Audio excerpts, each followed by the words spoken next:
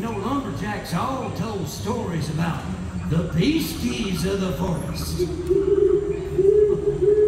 Yahoo, that's who. And the whirling whimpus and the snarly owl.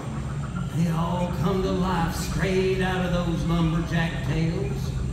But they all pale in comparison to the enchantress of the forest, the protector of the woods herself, the legendary Deep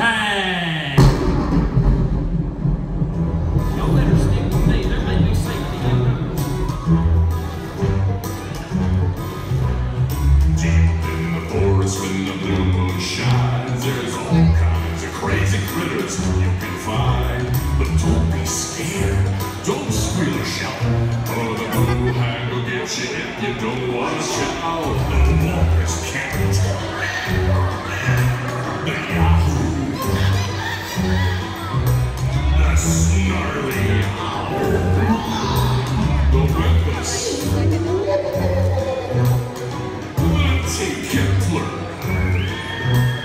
Toro Shadow.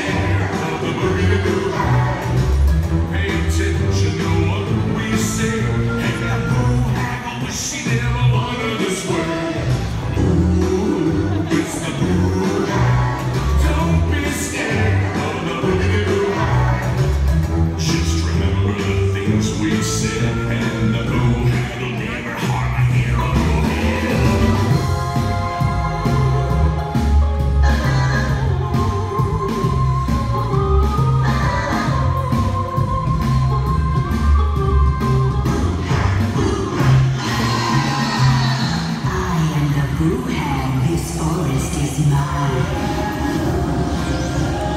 I've protected this place since the beginning of time. Why have you waited? What do you crave? I'll speak to you, human folk, acting so brave. Hey, Boo. I mean, Miss Hag. Uh, we were out here by accident, really. I was just telling these folks a story about the old sawmill and the lumberjack families that cut